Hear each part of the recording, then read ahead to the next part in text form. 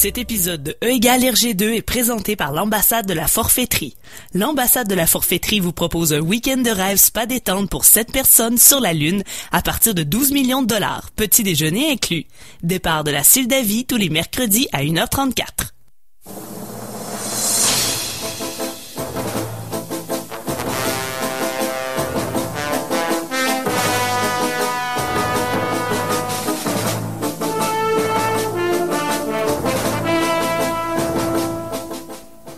Bonsoir tout le monde, bienvenue sur euh, CKRL. Vous êtes à l'émission E égale RG2, l'émission où on parle de Tintin pendant tout l'été, car bien sûr, qui dit Tintin dit R, euh, dit euh, non, qui dit été, j'ai raté encore mon début d'émission. Hey, non, on recommence, non, non, on recommence, faites une Qui fois, on dit été dit Tintin. Bon, C'est voilà. mieux, ouais. Je l'ai eu. Alors, euh, avec vous, avec nous, euh, mon Dieu, ça va pas bien. Autour de la table avec moi, François G. Tania Beaumont, bonjour. Salut. On dirait que c'est moi qui a fait le festival, qui a couvert le festival d'été. Je sais pas Hey, ce qui se passe. je ne sais pas non J'ai plus. que vu deux spectacles. Et Guillaume Plante, bien sûr. Notre, notre, euh, notre expert en notre expert en sabord métrique. Là, vous, l'avez- là, vous avez entendu peut-être un bruit fantôme. C'est le fantôme de Guillaume Plante qui se promène euh, qui se promène dans, dans le studio. Salut Guillaume. Hey, salut. Hey, Guillaume Plante euh, avec nous. Ce soir, on a, on a, il nous manque deux collaborateurs. Il y a François Jean, notre expert, notre euh, notre testeur en résidence, qui, euh, ben, on a eu une question tout à l'heure sur le facebook.com baroblique RGCKRL. Quelqu'un nous demandait avec la, la folie des, des Pokémon Go depuis une semaine, il demandait s'il y a des Pokémon sur la Lune. Eh bien, on a envoyé François Jean sur la Lune, voir s'il y avait des Pokémon sur la Lune. Donc, euh, on va avoir une réponse bientôt. Le problème, c'est, je pense qu'il n'y a pas de réseau. Non, il n'y a pas de réseau. Mais Ouais. bon. Fait que l'application marche avec le réseau. Ouais, mais ça, on l'a su juste, euh, on l'a juste ce matin. Ouais. En tout cas, si la Lune, c'est comme Limoilou, il va, se, il va revenir sur Terre avec euh, une quinzaine de roucoules. Ah, ah, tu vois. Je, je ne comprends pas cette référence. Ouais, Moi, oui, malheureusement. Eh oui. Alors, et on a également Olivier Morissette, notre euh, collaborateur, qui est également, euh, qui n'est pas avec nous ce soir. Et lui, euh, il est parti à Londres euh, ou en Angleterre, quelque part en Angleterre. Il est allé faire une conférence, euh, conférence sur Tintin, euh, bien sûr, parrainée par euh, l'Observatoire en études tintinoludiques de la chaire de recherche Sanders Hartmut de l'Université du Québec à Beauceville. Donc, euh, il est allé propager euh, La bonne nouvelle. propager la bonne nouvelle, Ouais. euh, propager le- le- le- les, les idées tintinoludiques euh, à travers euh, la Grande-Bretagne. Donc euh, c'est très bien, on a hâte de le revoir la semaine prochaine. C'était le seul bilingue du groupe, donc on n'avait Ouais, pas le choix de ça, l'envoyer. exactement. ouais. Oui, ben oui. Euh, ce soir, on, s'attaque vraiment à deux, euh, monstres de la, de la bande dessinée, euh, Objectif Lune et On a marché sur la Lune. Deux vraiment deux classiques, deux, deux albums où il se passe, mon Dieu, un paquet de choses. C'est vraiment très drôle. C'est bien hâte de vous jaser de ça tout à l'heure. On vous invite à aller chercher vos albums et à les lire avec nous en même temps. Tu sais, pourquoi pas, ou si vous les avez pas lus depuis longtemps, allez les rechercher dans vos vieilles boîtes.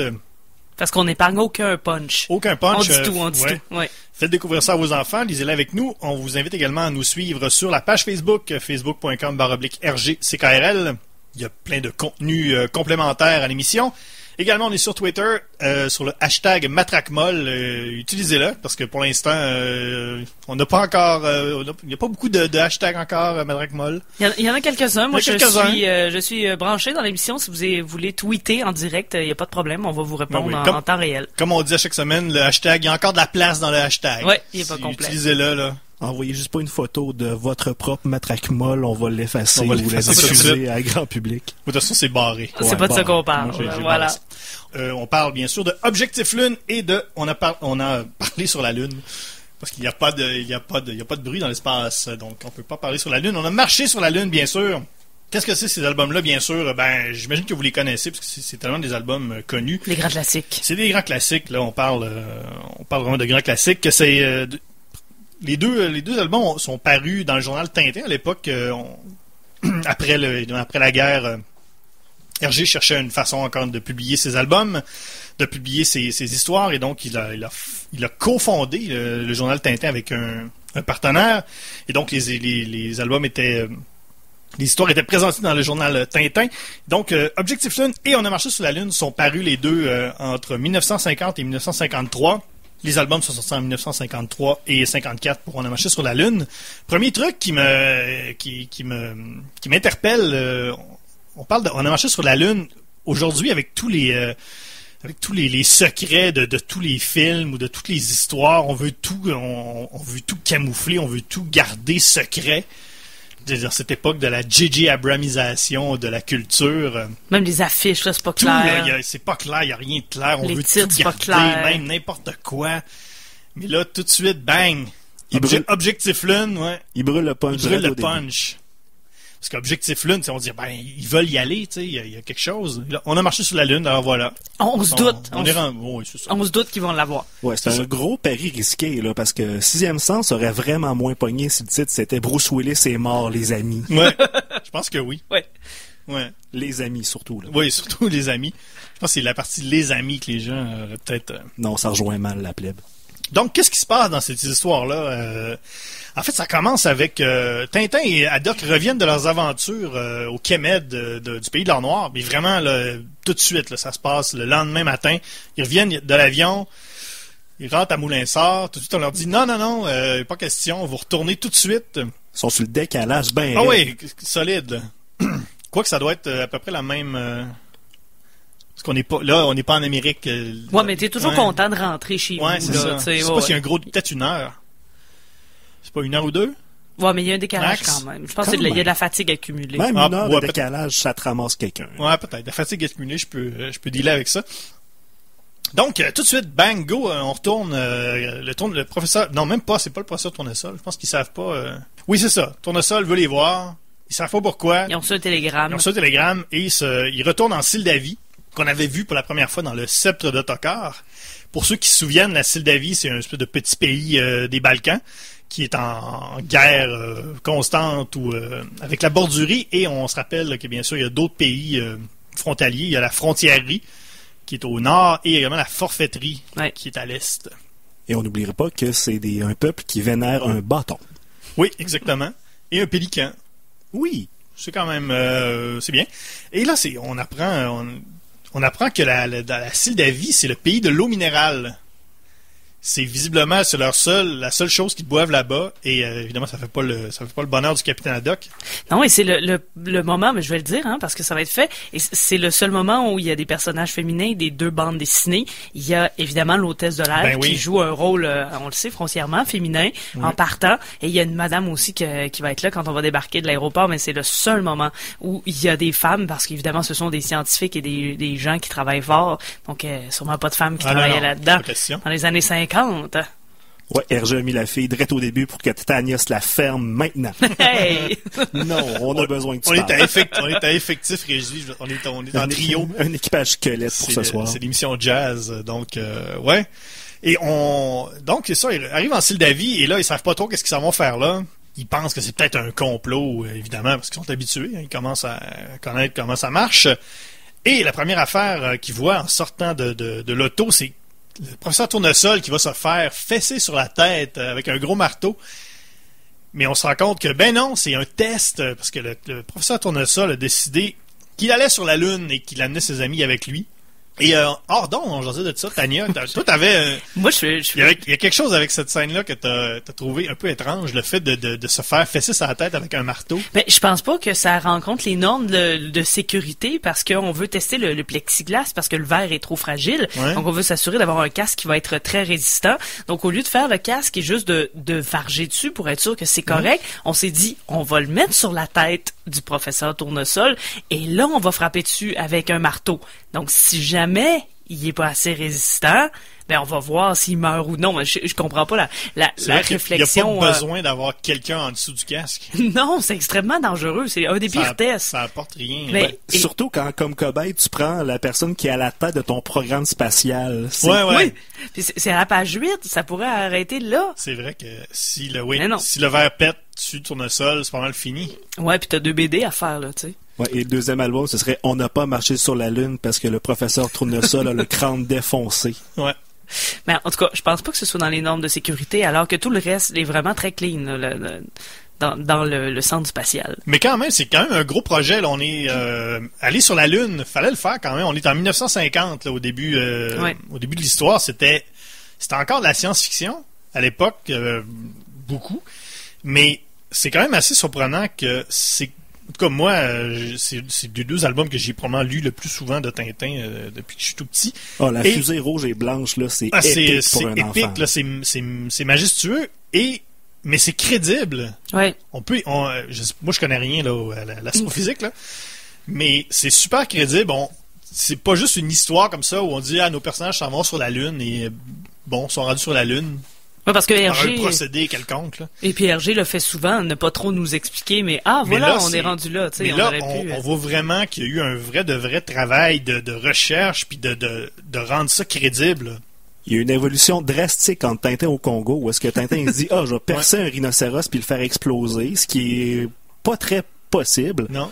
Ah, au professeur Tournesol qui vous dit, ok les amis, asseyez-vous, je vais vous, vous expliquer tout ce qu'il y a à savoir sur la fission nucléaire. Voyez les atomes, les briques de notre univers. Et il en parle pendant quoi? Deux pages? il nous l'explique, il nous l'explique Il y a- vraiment, là. Il y a beaucoup, beaucoup de cases de texte. Il y a beaucoup, beaucoup des, des, des grands, des grands panneaux de texte. Il y en a vraiment beaucoup, mais je pense que ça, en tout cas, ça rend crédible la patente.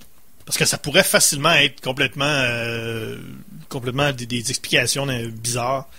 Mais c'est, euh, c'est quand même très bien fait et, euh, et c'est ça. Mais même des, des grands, de grands dessins, des très techniques. Là, justement, si vous regardez la page 13, on montre une espèce de, de de grand euh, C'est une pile. pile atomique c'est immense c'est super détaillé c'est ça rend moi ça m'a toujours un peu fasciné ces pages là parce que ça rend vraiment bien l'impression que ben oui c'est euh, ces gars-là s'en vont sur la lune et c'est ben oui ils vont y arriver Et rendu là, on voit vraiment l'évolution d'Hergé dans son art. Encore une fois, on déconne avec Tintin en Amérique et Mm. Tintin au Congo, mais là, on tombe particulièrement dans ce- ces deux-là. Les illustrations sont superbes. Oui. L'intrigue est vraiment bien.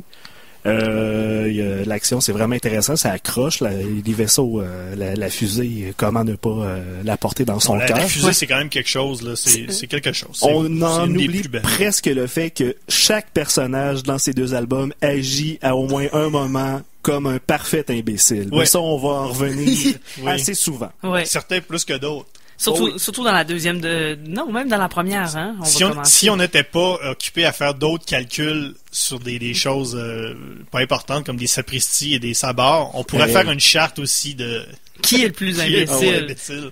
Mais euh, Her- Hergé, qui euh, ne perd pas ses bonnes vieilles habitudes avec les jeux de mots, euh, il y a quand même le docteur Rotule, Oui, le Qui est- docteur Rotule, on l'aime bien. qui est ostéologue, parce qu'il a le bureau d'ostéologie. Mais moi, je me demandais, est-ce que c'est est-ce que c'est son est-ce que son cabinet s'adonne à être là ou c'est vraiment l'ostéologue de la base? Parce que je pense qu'à mon avis, tu veux peut-être plus un médecin généraliste plutôt qu'un quelqu'un qui est vraiment bien euh, spécialisé dans quelque chose, je sais pas. Mais il y a un autre médecin. Il y en a un autre, euh, quelque part, on le Ah, voit, oui. Le professeur Coude. Tant qu'à être dans les parties du corps. Mais coude, c'est K-H-O-W-D. Ah, coude. euh, C'est ça, c'est... Elle se prononce Coude. On est en style d'avis. Il y a ça, du Kamed. Oui, exactement. Mais, euh, ben, première, euh, premier truc un peu étrange, c'est que, bon, euh, on, y- on aperçoit, il y a des, il y a, il y a des un avion, euh, évidemment, un avion qui se promène au-dessus de, au-dessus de la zone, Interdite. de la zone interdite. Et là, on voit que, on pense, on, on- pense que c'est peut-être un avion qui est en détresse, mais non, évidemment, on est, on- personne n'est dupe. C'est sûrement des espions. Tintin, Tintin va enquêter. Il amène, des, des tartines, des tartines au miel qui, à mon avis, devraient avoir aussi du beurre de pinot, parce que c'est sûrement meilleur miel et beurre de pinot que juste miel, mais ça. euh, Ah, faut que tu te brosses les dents après, là. Une toast au miel, là. Ouais. Ah, Mais là, euh, Tintin fait la, la chose qui. C'est la, la base des, des choses à ne pas faire. C'est ne- c'est écrit partout, dans tous les parcs que vous allez, dans les zoos. Ne pas nourrir les ours. Ouais. Et qu'est-ce qu'il fait la première affaire? Il voit un ours. La première affaire qu'il fait, il donne à manger à l'ours. Mais il est vraiment cute, l'ourson. Ah, il est ben oui, il a l'air d'un ourson de beurre de pinot. Ouais, c'est vrai. Je pense que c'était lui. Et, euh, et là, évidemment, euh, l'ours amène toute sa, sa famille ours. Non, Mais- un qui, rou- qui roule vraiment en bas de la falaise. Mais c'est ça, Tintin, il envoie sa, sa sandwich en bas de la falaise, puis il envoie les ours courent après le sandwich, mais vraiment vers une mort certaine, là, il roule, c'est une grande falaise. Mais mais il y a trop d'oursons. Il me semble qu'une maman ours ne peut avoir qu'un ourson ou deux par euh, par année. Et là, il y a vraiment, il y a le papa, la maman, mais il y a, il y a plein d'ours. C'est peut-être un camp de jour d'ours Ou, aussi. ou- ou le- les- ou des oursons d'un deuxième mariage. Peut-être aussi, mais il y a quelque chose de, de- il y a trop d'oursons Un là-dedans. camp de jour. Ben, peut-être que les mamans ours font vraiment un paquet d'oursons de même, mais il y a toujours un garde-chasse qui va pitcher des, ta- des tartines de miel en bas d'une falaise pour euh, cleaner un peu la population. Mais ça, ça donne quand même une drôle d'image, euh, la panoplie d'ours qui descendent et, et ou déboulent. Je pense qu'il déboule. Il y en a un qui déboule sévère. Il y en a un là. ses fesses, il y en a un Ça qui est à va l'envers. pas être le fun quand il va tomber en bas. là. Pauvres oursons. On a aussi les Dupont euh, qui, euh, qui font enquête parce que euh, ils trouvent un, un- Ils cherchent un squelette parce que là, ils se promènent, mais là, ils voient un squelette et bon, on apprend que c'est une espèce de truc de rayon X qui a l'air de fonctionner euh, sans arrêt. Ce qui, à mon avis, n'est peut-être pas très. C'est pas économique. C'est pas, c'est pas économique et euh, c'est- c'est- ça doit être un petit peu dangereux. C'est qui des- qui paye ces rayons-là? -là? C'est nos taxes encore? Oui, il me semble des rayons X, tu fais pas rouler ça euh, non-stop. Non. On gaspille pas des rayons. Tu Mais- fermes le robinet à rayons. Oubliez pas le squelette parce qu'ils vont le chercher longtemps, le squelette. Ils vont le chercher tout le long de l'album. Et quand ils ont une idée, les Dupont, on le sait. Ben, ben oui, parce que les Dupont qui euh, ont été envoyés par euh, les, les La autorités. police secrète. Oui, c'est ça pour euh, surveiller Tintin et Capitaine Haddock. Et, et moi, je, ça fait déjà plusieurs épisodes, plusieurs bandes dessinées que je lis et que je me dis, d'après moi, il y a tout un syndicat derrière les Dupont qui veulent absolument s'en débarrasser, mais ils peuvent pas les mettre dehors parce que le syndicat marche non, vraiment très très fort parce qu'on s'entend, ils sont vraiment inutiles, euh, ils sont complètement incompétents. Mais il y a un très très bon syndicat. Alors ce que les autorités belges font, ou le, peu importe la police pour qui ils travaillent, parce que c'est jamais très clair, c'est juste de les envoyer Mhm. n'importe où. Je pense qu'il y a une enveloppe euh, qui a été faite, il y a un budget qui est uniquement pour éloigner les Dupont de la Belgique, et c'est mieux ainsi. Et dans l'enveloppe, il y a une carte puis un jet d'un jeu d'or pour dire on les envoie là. Boing. Et par hasard, c'est toujours où est Tintin et le capitaine Haddock? On- depuis le début de la série, on parle bien sûr de, de, de Tintin qui, qui serait bien, qui serait, euh, qui serait Wolverine ou un mutant. Euh, peu importe, là, choisissez votre, euh, choisissez votre camp. Mais encore une fois, je pense qu'on a la preuve dans cet album-là, parce que Tintin, Tintin, se- ben, évidemment, quand il va, quand il va enquêter pour voir est-ce qu'il y a vraiment des espions qui, qui essaient d'infiltrer le camp, il y a un des, un des méchants qui, qui tire sur Tintin. Est-ce que Tintin est blessé? Bien Ben, sûr que non. Son coco Ben est oui, oui. pensé. Ouais, c'est ça. Mais le docteur, il dit Ah non, c'est correct. La balle a glissé sur sa boîte crânienne. Je pense que ça vaut la peine que je répète la phrase. La balle a glissé sur sa boîte crânienne. Ça, ça, il- son squelette est tellement résistant, ça, ça, ça en est plus drôle, là, gang. Là, on va se l'admettre. Il y a, il y a un, un squelette en adamantium. OK? Ben là, c'est- c'est- c'est un métal indestructible. Visiblement, ça semble être le cas. Là. Je pense qu'on n'a plus besoin d'avoir de preuves. Là. Ben, à, à chaque, à chaque émission, on le prouve encore. Ouais. Moi, quand je me fais tirer dans la tête, là, ça glisse pas sur ma boîte crânienne telle une peau de banane. Je Et meurs. Dieu sait que c'est arrivé. C'est arrivé à François Jean, en tout cas, qui l'a testé à Ben oui, plusieurs ça, reprises. a ouais. testé, mais ça, Ouais. lui, Alors, euh, les deux seules personnes, les trois seules personnes, il y a François Jean qui a survécu, il y a Tintin qui a survécu, puis il y a Harrison Ford dans À propos d'Henri qui a survécu à une balle dans la tête. c'est tout. trop. Mais il y a eu des tout. conséquences. Ouais, Il a fallu qu'il rebâtisse sa famille et regagner l'amour de sa femme. ouais, t'as bien raison. Je l'ai vu si souvent. Alors que Tintin ne fait que prendre un peu de repos. Ouais. Ah ouais, un petit dodo qui est correct. Oui. On a également, euh, bon, euh, on, on va envoyer, euh, avant de commencer, bien sûr, évidemment, quand tu veux aller sur la Lune, tu t'en vas pas là comme ça de même. Là. T'as- T'essaies au moins d'envoyer quelque chose avant pour faire un test. Et euh, Tournesol a construit une mini version de la fusée pour envoyer euh, sur la Lune et faire des, euh, prendre des photos, faire quelques quelques expériences. D'ailleurs, euh, Haddock en voyant la, la console. euh, la console dit que ça ressemble à un piano. Un peu à un piano. Euh, page 29, allez voir ça. Et euh, je tiens à dire que ça ne ressemble même pas un petit peu à un piano. Hey, j'en ai vu des pianos, moi là. aussi, là. Puis il n'y a aucun bouton rond sur un piano. Un piano, c'est assez... Tout le monde sait c'est quoi. Là. Tout le monde a... a- a- jamais vu de piano de sa vie. Non, c'est même pas un Casio cheap. non, là. non, c'est... Il n'y a aucune ressemblance avec le piano. Par exemple, plus bas, il y a des manettes qui ressemblent vraiment à un toaster. Oui. Ça, oui, par exemple. Oui, oui, c'est- oui, parce que c'est ils ont fait ça avec les moyens du bord. Ah, c'est clair. ils inventaient la technologie, là. Le lien que le capitaine a dû dire, c'est OK, ça, ça ressemble pas à une tortue. Un piano ne ressemble pas à une tortue. Donc. Donc, ceci ressemble à un piano. C'est vrai. C'est une logique implacable. Mais c'est vrai, écoute, euh, Tournesol, là, il fallait, il fallait qu'il prenne à quelque part ses instruments. Là. Donc, Ouais. il a pris un toaster. Il a mis des manettes dans le toaster. Ça a marché. Et ça fonctionne. Ça fonctionne. Écoute, Tu ça plugues un fonctionne. toaster sur de quoi qui ressemble pas à un piano. T'as une console Je spatiale. pense que oui. Eh, vu que j'ai euh, j'ai pas j'avais pas grand chose à dire avec ma chronique féminine, Ouais. je, je m'attarde sur c'est c'est la page juste avant en page 28, il y a euh, le premier beau bonhomme que je vois dans les bandes dessinées de Tintin, C'est quoi, hein? 12 qu'on lit, Ouais. et euh, il y a un personnage en le- la cinquième case, Michel. ben ouais, Oui, il s'appelle Oui, Michel. oui, c'est vous, Ouais. Michel. Oui, exactement. Euh, Michel, qui a l'air plus d'un, Américain là, qui euh, pilote d'avion, je sais pas trop. Euh, il a une petite coupe, euh, mais il a pas la même face que tous les autres personnages. Je sais pas si c'est un autre dessinateur qui, qui l'a fait ou peu importe, mais c'est comme un beau bonhomme. Il, Il y a est- pas, il est pas cartoon du tout là. Il y a une grosse bosse dans le dos, par exemple. Ah, ça, ça peut être ça, mais euh, je, pas. sais, je sais ah pas. non, là, c'est un télescope. Ouais, Ils exact. disent, hey, wow, ils ont donc bien du beau personnel. La case d'après, t'as le gars avec le double menton, les exactement. C'est- le Peter Griffin avant l'heure. Ils l'ont engagé pour sa compétence. Ouais, ce c'est ça. Donc c'est ça, c'était ma chronique beau bonhomme. Et là, on envoie une fusée test dans l'espace et, euh, et là, pendant le vol de la fusée de test qui fait le tour de la Lune en 4 heures, ce qui est quand même euh, pas mal pour une fusée, on n'a pas reproduit ça depuis. Ben non, ben c'est assez rapide. Et euh, juste pour faire la comparaison, il y a Jules Verne en 1882 Ouais. qui lui avait évalué que ça prendrait 97 heures, qui était déjà plus proche de.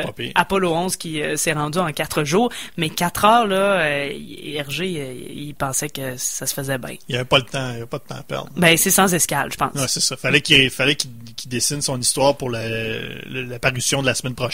Puis... C'est il n'y aurait pas de fromagerie. Non, non, non. C'est dit chez nous à l'épicerie, c'est 15 minutes. D'ici à la Lune, c'est peut-être quoi, 8 fois ça, 16 fois ça, ouais, 4 Ouais, heures. peut-être. Mais, mais de tous les deux, c'est la seule chose qui est le moins crédible. Ouais, c'est quand parce même que tout le reste est quand ouais. même super crédible. Sauf que là, c'est la première fois où on, on apprend qu'il y a peut-être un complot qui, euh, qui va être... euh, évidemment, il y a toujours des complots. Hein, on n'invente rien. Il va y avoir un complot contre la fusée et Tintin, lui, a- il a prévu le coup il a proposé à Tournesol de, mettre un émetteur sur la, sur la fusée pour la faire exploser. Euh, bien sûr, euh, évidemment, euh, pour, ne pas que les méchants s'emparent de la fusée. Évidemment, bien sûr, on fait exploser la fusée et c'est là. et donc, on va apprendre bien plus tard qu'il y a évidemment un très gros complot qui se prépare euh, à partir d'une, d'une visiblement d'une salle où il n'y a qu'une table, une radio et euh, des murs jaunes un orange. monsieur. Deux. Il y a un monsieur aux cheveux blancs qui, qui, qui, qui fait des choses. Là, Ouais. Et qui veulent ces données-là. Mais pour le reste, c'est ça. Pour le reste de Objective Lune, c'est encore beaucoup, c'est beaucoup de, de- de- c'est beaucoup de la présentation, c'est de montrer comment ça va se passer euh, lorsqu'on va être sur la Lune. Euh, Il y a beaucoup, il y a beaucoup de ça. C'est beaucoup un album de, euh, c'est vraiment un album de présentation sur sur euh, sur le, le- le- le- le- sur ce qui va se passer. Mais ça présente de façon incroyablement détaillée ce qui arrive quand le professeur Tournesol Oui. finit par se fâcher. Oui, parce que là, il, il- ouais, il- il La- devient amnésique pendant un bout de temps. Et là, il y a Haddock qui lui dit que c'est un zouave. Et là, il finit par comprendre. Non, à vrai dire, il, Non, a- c'est- il c'est- se fait traiter de Ouais. direct au début. Ouais, Parce que le capitaine Haddock, il se cogne euh, pour, euh, parce qu'il sait pas ce qu'il fait. ouais, ben oui. Et là, il va traiter, il dit au professeur Tournesol, OK, moi je m'en vais, toi reste ici, tu continues à faire le zouave. Et c'est un, je pense que c'est son, son, son trigger word, si on veut, là. Je pense qu'il y a de quoi avec euh, la garde rapprochée du pape, Tournesol, parce Ouais. qu'il a zéro prix, là. C'est la goutte qui fait déborder le vase, si on peut le dire comme ça, très doucement. Parce Oui. que il pète un il plomb. pète un plomb solide. Et ça fait du bien. Oui, je pense que oui. Je pense que ça, ça- je pense que ça lui permet justement de, de, de pour moi qu'il refoulait beaucoup d'affaires. Ben là, le gars, il a quand même payé un château au capitaine Haddock. là, il s'en va le traiter de zouave. Conséquence de la page 39 à la page 50, Tournesol est en furie. Fâché noir. À part un bref épisode d'amnésie à un moment donné. là, où est-ce qu'il- Ouais, c'est ça. Mais ça nous. C'est un peu aussi un. C'est un prétexte pour nous amener à la page 42, à la première case euh, où on voit vraiment la, la fusée, euh, la fusée XLR6 dans toute sa splendeur. Une vraie grosse case, là, euh, pleine page. C'est vraiment. euh, c'est magnifique. Et euh, donc c'est ça, on, on entre dans la fusée, on va voir un peu ce qui se passe. Et c'est après, ben, c'est ça, c'est après que c'est après que Tintin devient euh, pas Tintin, mais Tournesol devient amnésique. Oui, mais il- encore une fois, Zouave, c'est c'est Zouave qui, qui vient en ligne de compte. là. C'est Zouave qui l'a fait sortir de sa torpeur. Ouais, ouais. Je t'ai payé un château, je suis en train de bâtir une fusée spatiale et tu me traites de zouave.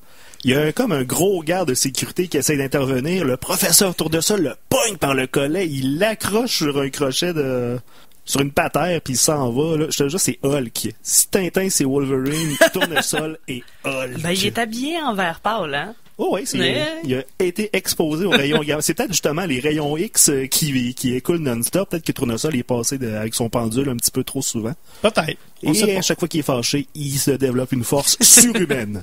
On va continuer de parler de ces deux albums. euh, De, on va continuer sur Objectif Lune et On a marché sur la Lune. On vous revient donc après la pause. Le Bal du Lézard est fier d'encourager les talents d'ici et vous présente cette soirée.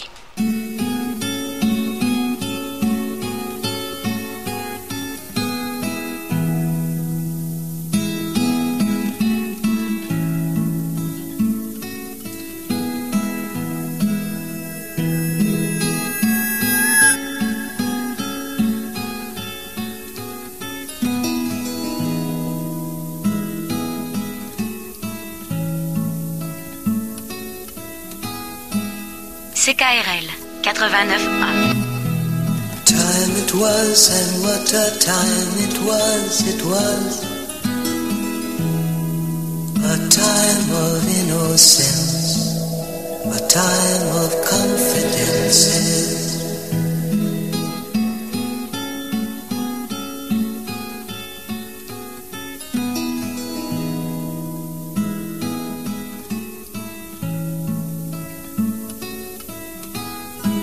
Avertissement. Cette émission est déconseillée aux personnes âgées de plus de 77 ans. Le jugement des parents est conseillé. François, on a reçu euh, une question sur le hashtag Matraquepol. Euh, Alors, Ben oui. on, euh, demande, c'est euh, Valmo qui demande, c'était pas un hommage à Michel Vaillant, le Michel dans l'album, donc le beau bonhomme dont on parle. Ben oui. Et on a fait, on a fait des recherches et euh, visiblement non parce que Michel Vaillant a été créé. euh, en 1957 ouais. Et Objectif Lune a apparu en 1953. donc, je pense que c'est l'inverse. C'est euh, Michel Vaillant qui est un hommage à, à ce, À ce à personnage. ce beau bonhomme. Ouais. Mais le personnage qu'on voit tout de suite après Michel a inspiré Rémi Girard. Ouais. Probablement. Ben oui, c'est ça.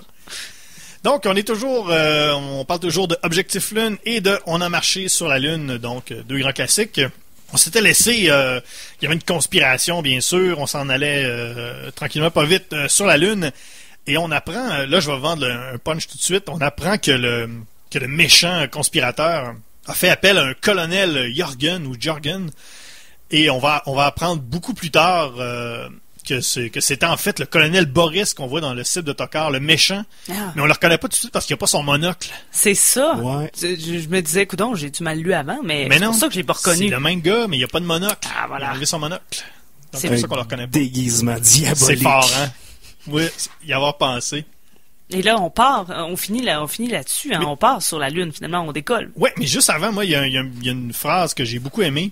Alors que le, le, le, le- en fait, le professeur Baxter, qui est un peu le, chef de, de- le chef de mission qui va rester sur la Terre, dit au capitaine Haddock, qui dit, je me réjouis qu'il y ait un marin parmi les premiers hommes qui prendront pied sur la Lune. Et euh, capitaine Haddock dit, oh, vous savez, ça m'aurait été égal si ça avait été un clarinettiste.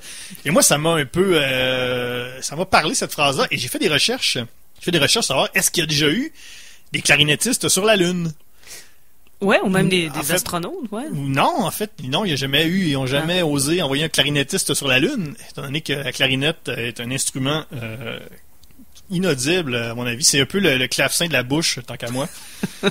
mais euh, mais j'ai quand même fait des recherches et il y a eu une astronaute qui est, euh, qui est allée dans l'espace quand même, qui a fait quatre missions dans l'espace et qui jouait de la clarinette dans ses, dans ses temps libres. Donc quand même, une américaine et euh, son nom va m'apparaître dans quelques instants sur cette espèce de petit machin qu'on appelle Mais écoute, François, si tu en Linda. Linda Goodwin. Ah, voilà. Ouais, voilà. Alors, euh, voilà, elle est allée dans l'espace et elle joue de la clarinette. En tant qu'à moi, c'est euh, ça fait pareil. Ben, il y a clairement quelque chose avec la musique et euh, Capitaine Haddock, parce qu'un peu plus tôt, à la page Ouais, 43, il s'enchante des chansons là-dedans. Ben ouais, c'est ça. Il dit euh, pauvre tournesol. euh, comment voulez-vous qu'un monument pareil puisse s'élever dans les airs Évidemment, il parlait de euh, de la fusée la première fois qu'il la voit. Il dit autant jouer du cornet à piston devant la tour Eiffel en s'imaginant qu'elle va danser la samba. Ben oui.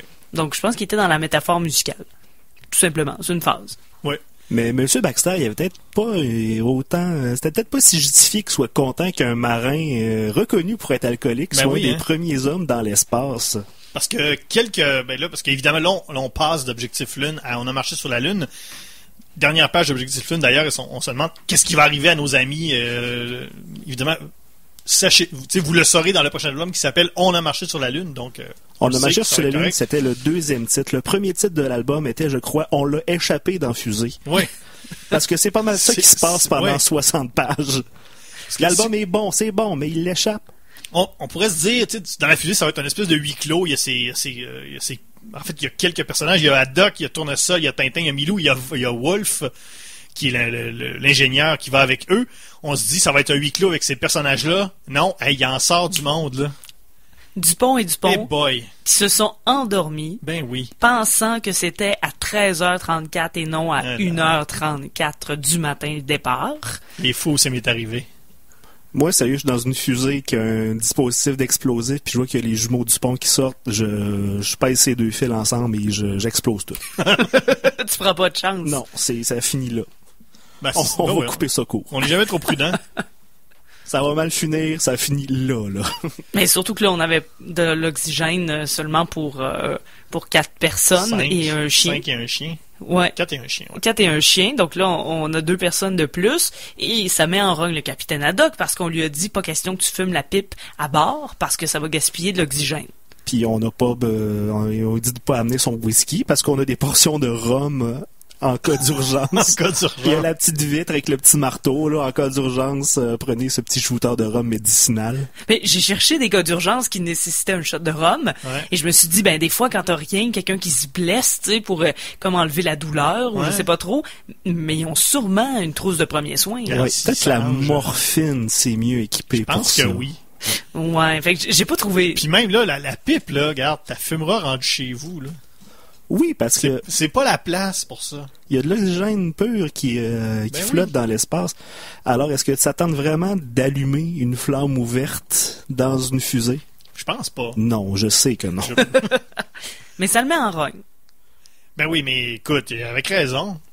Mais le pire, c'est que les Dupont, les Dupont débarquent, puis au lieu de faire, euh, bon, écoute, euh, restez dans le coin là, puis euh, on, soyez tranquilles, on va revenir à un moment donné. Il, leur dit, ben voilà, voici des, des panneaux de contrôle, euh, allez-y, amusez-vous. Nos vies sont entre vos mains, les Ouais, amis. exactement. Go!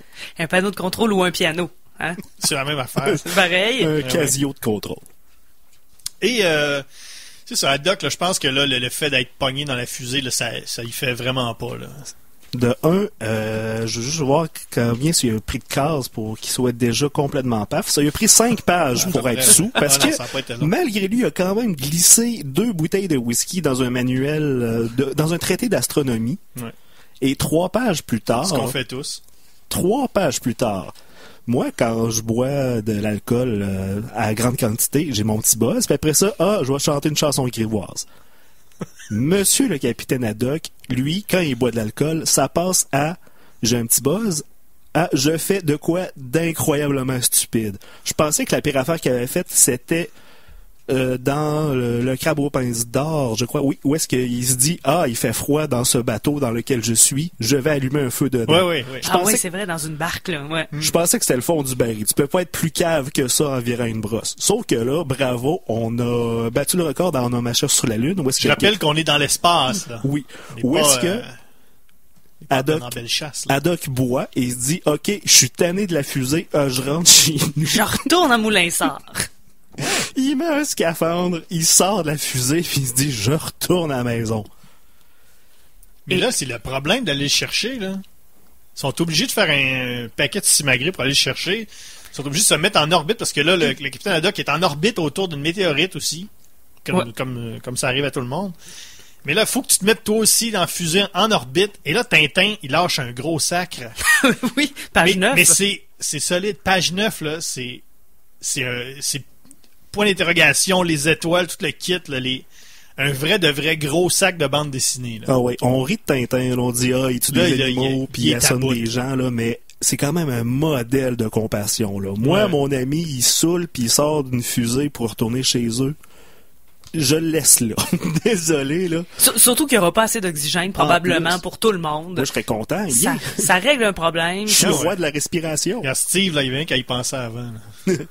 Mais, mais sérieusement, moi, je je sais pas pourquoi, mais je suis très sensible à ça quand il y a, il y a trop d'imbécilité au pied carré. Ouais. Que ce soit dans un film, dans un, un dessin animé ou dans une bande dessinée, ça m'agresse. Et là, c'était comme le début de la fin sur les imbécilités, les imbécilités, en commençant avec les Dupont qui sont trop caves pour savoir que c'est 1h34 au lieu de 13h34.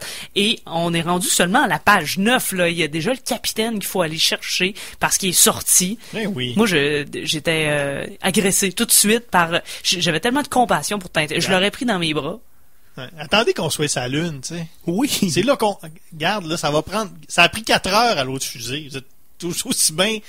Vous êtes capable d'attendre une coupe d'heures, là. Au moins. Mais on le fait pas.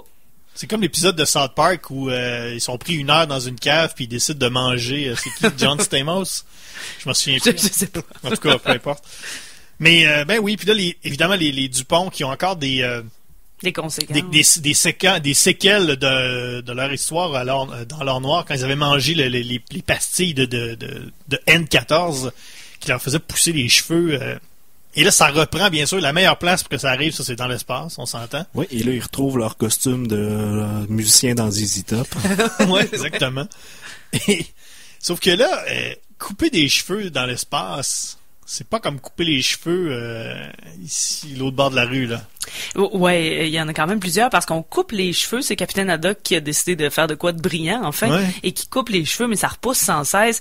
Et là, finalement, on doit absolument se remettre en apesanteur parce qu'on doit faire la manœuvre d'inversement. Ouais. Parce que la, c'est pas euh, reverse, hein, Ben la, ça. la, la, la fusée, il faut qu'elle atterrisse sur le même bord qu'elle est partie. Mhm. Et euh, dans ce cas, dans ce temps-là, on est en apesanteur. Mais il vient oui. couper des Il cheveux et doit-tu des en avoir cheveux? du poil dans la fusée, toi? Mais on- je pense qu'Hergé a fait un choix de pas nous le montrer.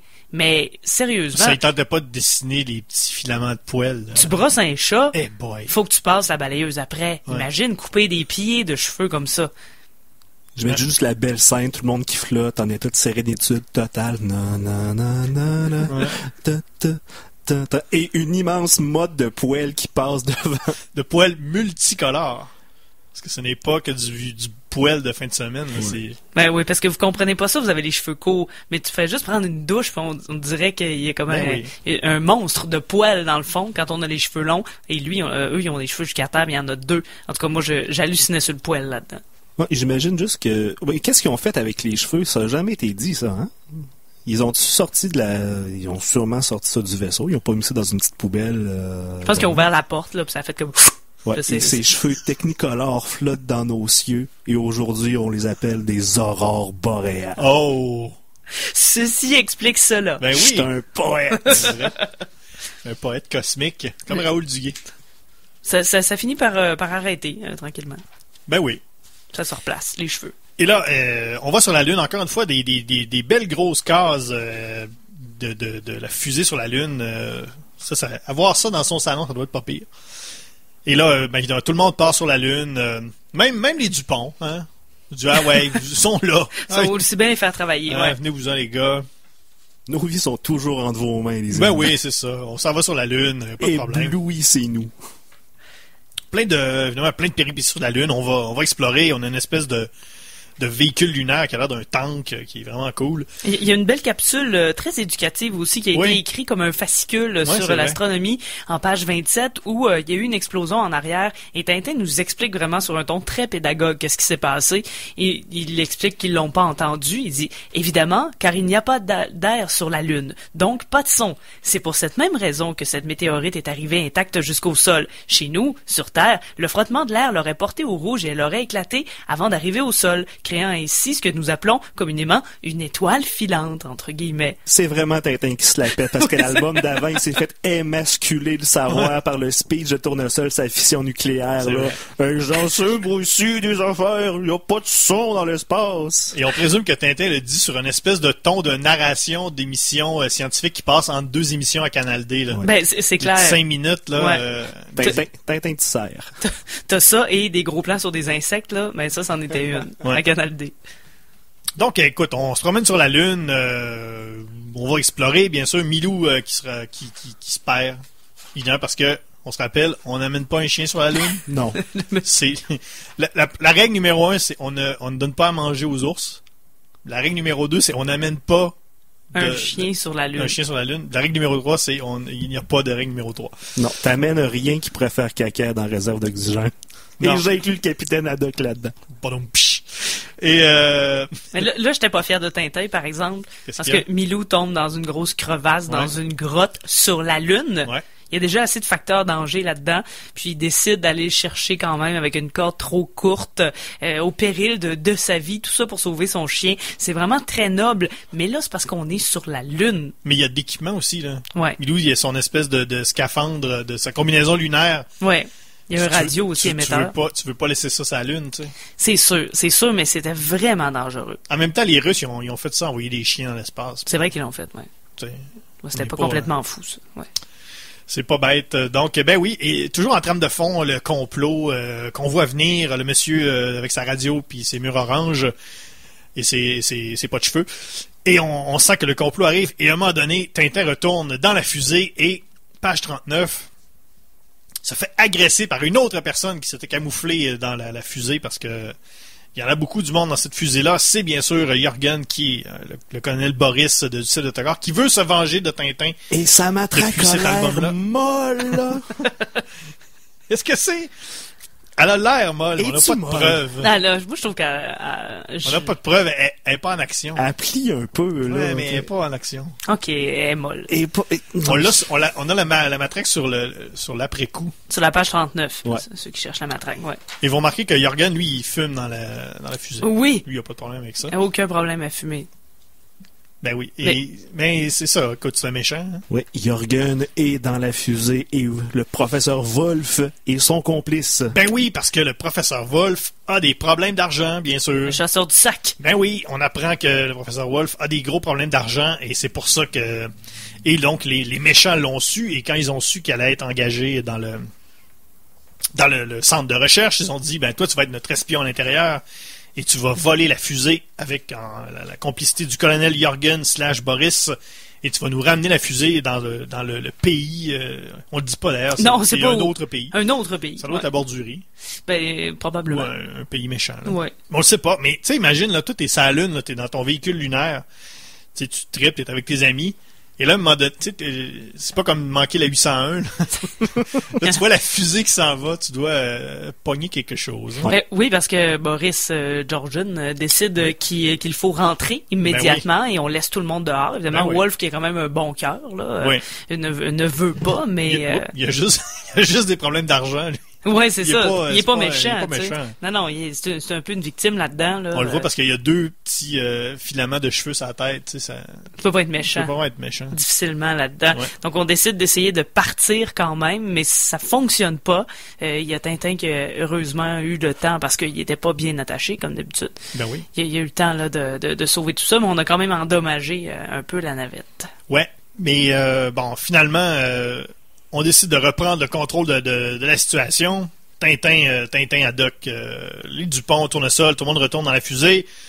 On continue, on met euh, bien sûr Wolf et, euh, et Jorgen, on les, on les, on les, On les écroue. on les écroue.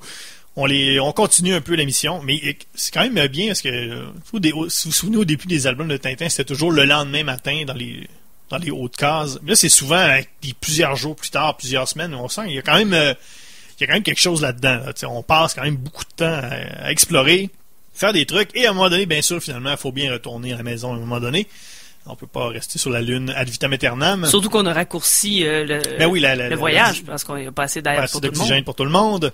Surtout que là, on a, euh, on a un- quelqu'un de plus euh, dans l'avion et qui fume. qui fume. Oui. Et sauf que là, euh, Jorgen qui réussit à se déprendre de, de ses liens Avec son fusil. avec son fusil. Et là, Wolf, dans un dans un dernier euh, dernier élan de, de, de, de courage, décide de, de s'en prendre à, à Jorgen et tire le fusil. Et oh, Jorgen est mort. Ouais, ça fait pan Pan. Pan. Et là, Jorgen est mort. dans une balle perdue. Ouais. Et c'est ça, ça fait bizarre de- d'avoir un mort. Un comme- mort dans la, ouais, dans Ouais. fusée. Et on a 14,28% plus d'oxygène pour tout le monde. Yay! Mais c'est quand même pas. euh, c'est pas mauvais. En même temps, s'il fallait que quelqu'un euh, meure, c'est, Jorgen. hein. Je pense Ouais. qu'il le méritait, là. Et on décide de, de le larguer dans l'espace. Ben oui, Parce hein. qu'on n'a pas d'autre choix. Ouais, c'est, ben c'est, comme le côté sombre auquel on n'est pas trop habitué. Les, les, les dix dernières pages, ils prennent une espèce de petit tournant un peu, euh, un peu f- 2000 ans au-dessus de l'espace, là, quand Frank Poole euh, se fait éjecter de, de- du vaisseau là, par, de, par voyons, Al. Ça s'en vient comme ça. Tanya qui me fait des signes qu'elle qu'elle comprend rien de que ce je que n'ai je pas dis. vu, ce Ouais, film. parce que malgré la mort de Boris Jorgen, il y a quand même pas assez d'oxygène Ben pour tout non, le monde. on va quand même manquer d'oxygène. Qu'est-ce qui va arriver? Il va bien falloir en trouver quelque part. Ah, Ça s'achète pas Au dépanneur. au dépanneur. Et il y a un gambler qui a plus rien devant lui Ben qui non. se dit je vais faire un sacrifice. Il, il se pitch dans l'espace. On le dit pas. On dit pas ce que c'est. Il envoie une lettre, une dernière lettre d'adieu. Il, disparaît dans l'espace. Il fait un major ton de lui-même. Mais c'est, vraiment sombre, là, ouais, on c'est- est, on on est a pas... deux, deux largués Hmm. dans l'espace en, le- en l'espace de quelques pages. Et surtout deux morts très rapides, Ouais, parce que les derniers qu'on avait vus, ils étaient quand même, euh, ils s'étaient fait capturer par des petits diables, là, en s'envolant, c'était un Ouais, peu ouais. euh, mystique. Alors que là, ben, c'est la mort qui nous frappe, là. Non, ils sont juste gelés dans l'espace euh, dans d'atroces souffrances. Ouais. Ben, sauf lui qui est mort par balle. là. Parce que la, balle a pas glissé sur son squelette. Non, Non, non, Écoute, euh, à la fin, euh, ben, évidemment, Haddock euh, peut pas s'empêcher de prendre une dernière petite, petite lampée de boisson. Il voit plein de Dupont. Il y a des Dupont qui se sont dédoublés. Encore une fois, même chose. On retourne, on retourne sur la Terre. Ça a pas l'air facile. Ça, c'est- je pense que c'est euh, RG avait pas tort. Ça, ça a vraiment l'air d'une méchante épreuve. Ben, il y a vraiment plus beaucoup d'oxygène, Non, mais, euh, c'est ça. On est, il reste euh, point- 0.8% d'oxygène. non, on se rappelle qu'il faut, euh, il faut changer le, le, le moteur Ouais. pour atterrir. Ben ça, oui, quelqu'un qui le pilote. fasse. Ben oui, sauf que là, euh, c'est pas facile, là, parce qu'on respire plus ben, ben. Et là, on se dit, qu'est-ce qui, qu'est-ce qui est arrivé? Est-ce qu'ils vont, euh, est-ce que tout le monde, est-ce que, quand on va ouvrir la porte, est-ce que tout le monde va être encore là?